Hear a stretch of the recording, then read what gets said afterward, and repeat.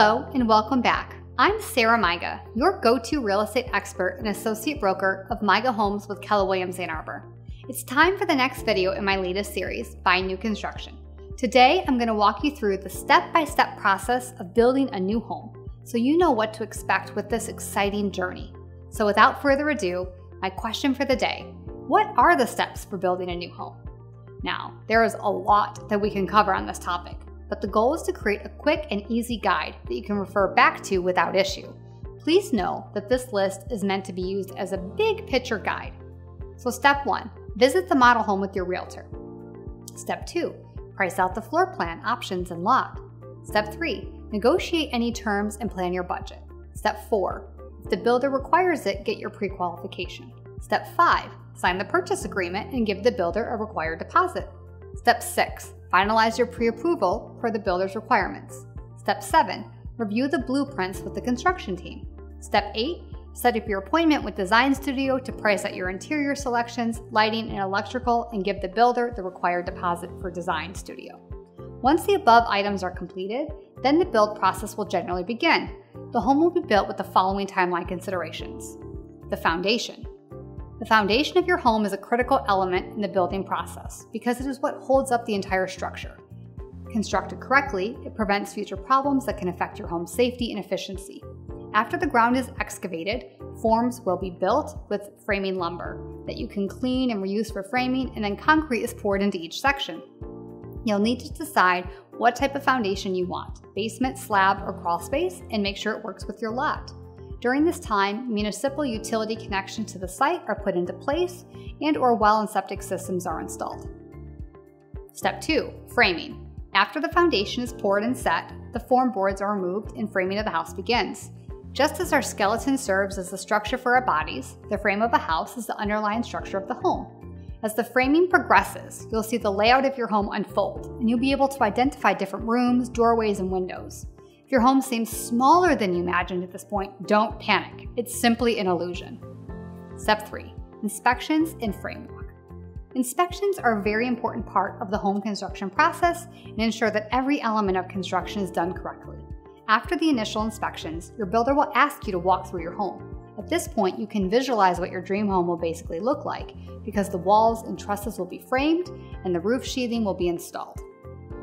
Step 4 House Wrap. Certain climates have a higher risk of moisture damage, which can cause mold and wood rot. Therefore, a protective barrier known as a house wrap is installed to prevent the structure of your home and its interior from getting wet, growing mold, or rotting. The house wrap ensures that all the moisture will remain outside the home. Step 5. Enclosing your home. Once framing has passed inspection, your builder will begin enclosing your home and install siding, shingles, roofing system, any brick or stone details, your interior or exterior design requires, and the windows and doors. Windows and doors are very visible features of your home, both inside and out, so you want to choose and invest wisely. Make sure your windows and doors have the performance, durability, and energy efficiency that your geographical location warrants. Step 6 Mechanical Installation. This stage is critical and occurs before the installation of sheetrock. This is the building stage where mechanical components and wiring are installed, venting, ductwork, water heaters, and the HVAC system are also installed. Step 7 Insulation.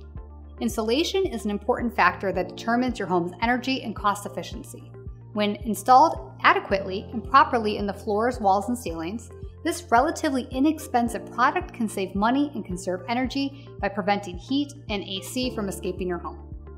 Step 8 Interior Finishes. Once your home is framed and wrapped and all the mechanicals have been installed, sheetrock is put in place to form the walls. The builder will start installing drywall and texturing it to prepare for painting and interior finishes. Step 9 Install exterior walkways and driveway. Interior doors, baseboards, door casings, window sills, moldings, stair balusters, and other decorative trim are installed, along with cabinets, vanities, and fireplace mantles. Generally, exterior driveways, walkways, and patios are formed at this stage if applicable.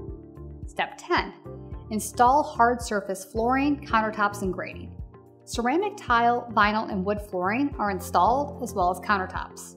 Exterior finish grading is completed to ensure proper drainage away from the home and prepare your yard for landscaping. Step 11 Install mirrors, shower doors, and finish flooring, landscaping, and all remaining fixtures.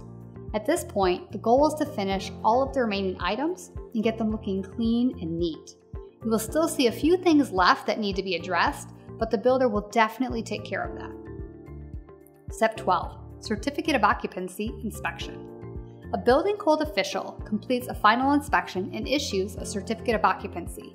If any defects are found during this inspection, a follow up inspection may be scheduled to ensure that they've been corrected. Step 13 finishing stages, and moving. The final walkthrough is the last step before you move into your beautiful new home.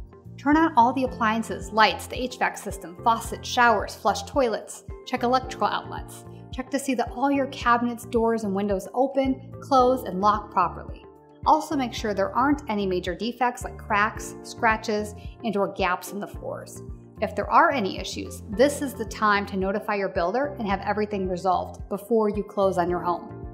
Now that I've shared with you the steps required to build a new home, hopefully you understand the process better and can be prepared to make a decision on whether building a new home is right for you. If you have questions about this topic or anything else involving real estate or building and buying a new construction property, reach out to me today as I would be happy to help and be a resource for you. In addition, I create custom moving plans for each of my clients up to a year in advance so that we can be fully prepared and partners in this journey. So if you think you're within a year of making a move, reach out at the information below and set up a consultation today. Plus, if I'm not able to personally assist you, I'm part of a global real estate company and can refer you to a similarly qualified agent anywhere in the world. Be sure to subscribe to my YouTube channel today and tune in weekly to learn more about all things real estate.